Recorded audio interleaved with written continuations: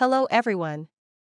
In this video, I'ma show you how to create Pinterest accounts in bulk via PVA Creator. Add your proxies first of all.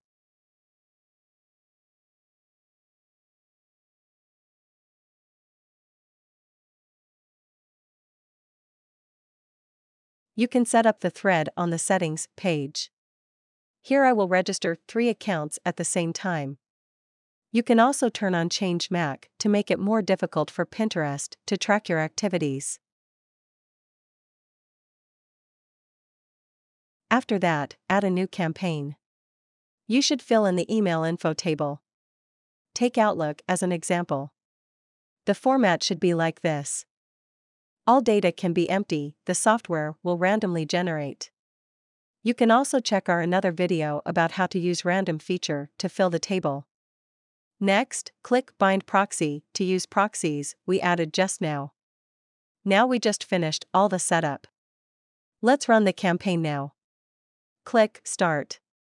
You can run twice or more by changing the first option. If you need to run the program at a certain time, try the second option, which is to schedule tasks.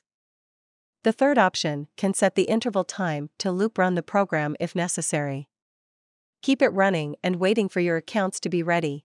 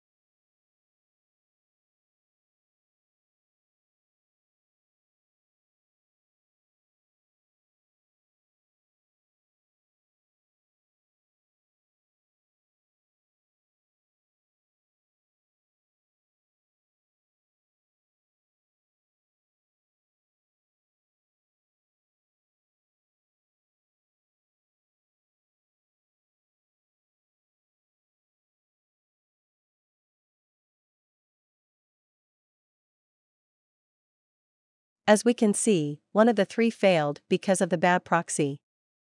It's normal, you can change a proxy and try again. That's all today. Thanks for watching.